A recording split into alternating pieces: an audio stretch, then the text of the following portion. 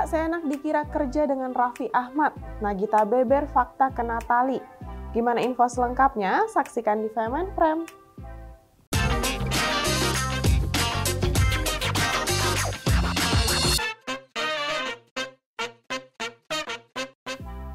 Halo, kembali lagi dengan aku Gaida. Istri komedian Sule, Natalie Holster, mengulik soal bekerja pada Raffi Ahmad dan Nagita Slavina alias Rans Entertainment. Memang selama ini banyak yang ingin bekerja di bawah naungan perusahaan ayah Rafathar itu. Terkait ini, Nagita Slavina menanggapi banyaknya orang yang ingin bekerja di Rans Entertainment. Sejak resmi menikah pada 17 Oktober 2014, Raffi Ahmad dan Nagita Slavina menjadi salah satu pasangan yang terus menuai kesuksesan. Mereka rajin membangun sejumlah bisnis, salah satu yang paling menonjol adalah Rans Entertainment.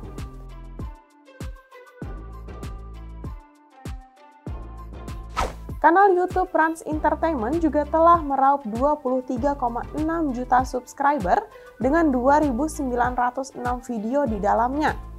Di balik kesuksesan tersebut, terdapat tim yang bekerja membantu Raffi dan Nagita. Kesejahteraan mereka selama bekerja di Rans Entertainment pun ramai disorot.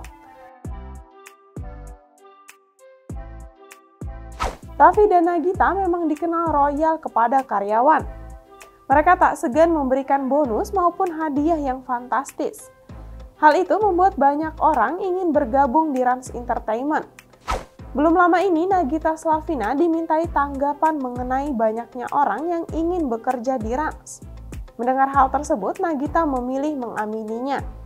Istri Raffi Ahmad itu kemudian mempertanyakan soal kesanggupan. Natalie kembali memberitahu bahwa banyak orang ingin kerja di Rans Entertainment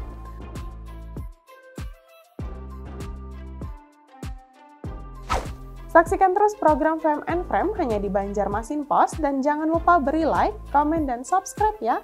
Bye-bye.